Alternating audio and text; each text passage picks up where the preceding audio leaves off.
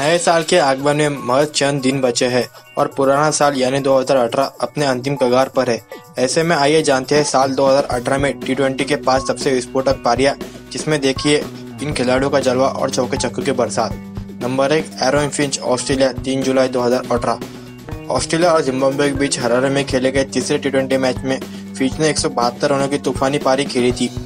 छिहत्तर गेंदों पर 16 चौके और दस छक्के जड़े थे। इस मैच में ऑस्ट्रेलिया ने जिम्बाब्वे को सौ रन से हराया था। नंबर दो, रोहित शर्मा, भारत 6 नवंबर 2018 भारत और वेस्टइंडीज के बीच लखनऊ में खेले गए दूसरे टी मैच में रोहित शर्मा ने नाबाद 111 रन की धमाकेदार पारी खेली थी। रोहित ने अपनी इस पारी में इकसठ गेंदों पर आठ चौके और सात छक्के लगाए थे। भारत ने यह मैच इकहत्तर रन से जीता था।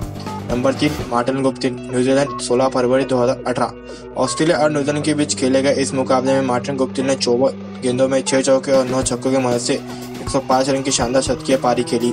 हालाँकि गप्तिल के इस शतकीय के बावजूद कंगारू टीम ने पानी फेर दिया और यह मैच पाँच विकेट से जीता। नंबर चार, कॉलिन मुंद्रो, तीन जनवरी दो हज़ार अठारह।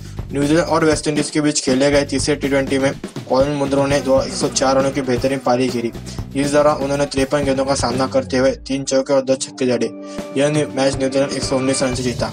नंबर पाँच ग्लेन मैक्सवेल, सात फरवरी दो हज़ार अठारह। इंग्लैंड और ऑस्ट्रेलिया के बीच खेले गए दूसरे टी ट्वेंटी मैच में मैक्सो ने एक सौ तीन रनों की नापात शतकीय पारी खेली। उन्होंने इस दौरान अट्ठावन गेंदों का सामना किया। दस चौके और चार छक्के लगाए। यह मुकाबला ऑस्ट्रेलिया ने पाँच विकेट से जीता। सैड न्यूज़ की रिपोर्ट।